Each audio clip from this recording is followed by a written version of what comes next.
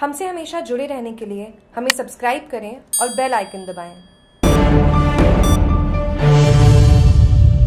दशा माता का व्रत रखकर अच्छी दशा की कामना की चैत्र कृष्ण दशमी के अवसर पर सुहागिनों ने अखंड सौभाग्य का प्रतीक दशा माता का व्रत, श्रद्धा एवं उत्साह से मनाया गया। वहीं महिलाओं ने सवेरे से ही नई परिधान पहनकर घर में सुख, शांति और समृद्धि एवं अच्छी दशा की कामना के लिए व्रत रखकर, पीपल के वृक्ष की पूजा कर, कच्चा धागा बांधकर, परिवार की खुशहाली की कामना करते हुए परिक्रमा लगाकर दशा माता को पंचामृत का भोग लगाया गया तथा कथा सुनकर कच्चे धागे को गले में पहना। इस अवसर पर लक्ष्मी बोराना, शोभा बोराना केली देवी, भूड़ी देवी, गुड्डी, शांति देवी, गीता देवी, बिंदिया देवी, गवरी देवी, लीला देवी सहित सैकड़ों महिलाएँ उपस्थित थी। जागरूक टीवी के लिए सोजत सिटी से नथाराम बोराना की रिपोर्ट।